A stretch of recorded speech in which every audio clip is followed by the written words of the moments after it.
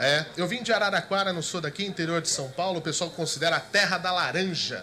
Sabiam disso? É a terra da laranja. O pessoal pergunta assim: nossa, lá é muita laranja mesmo? Você abre a torneira, sai suco de laranja, você é, é, tem bolo de laranja servido na merenda, né? É, é, na verdade é. É assim mesmo. É uma coisa é maluca. Mas lá é muito bom, tem o lado bom também. Você vê nessa, nessa chuva, esse tempo, né? Você não, eu não consigo lembrar, sinceramente, a última vez que eu peguei uma gripe. Que a vitamina C está no ar, de tão laranja que é a cidade. É uma coisa inacreditável. Você cai no chão, escorrega, lambe o asfalto, tem gosto de Cebion. Estou até melhor. Tudo lá é laranja, impressionante. Inclusive, o, a gente está tentando mudar a capital federal, já pelo governo Bolsonaro, de tanto laranja a gente mandar para Araraquara. É bom quando as piadas engajadas funcionam. É um público que está atento à política nacional.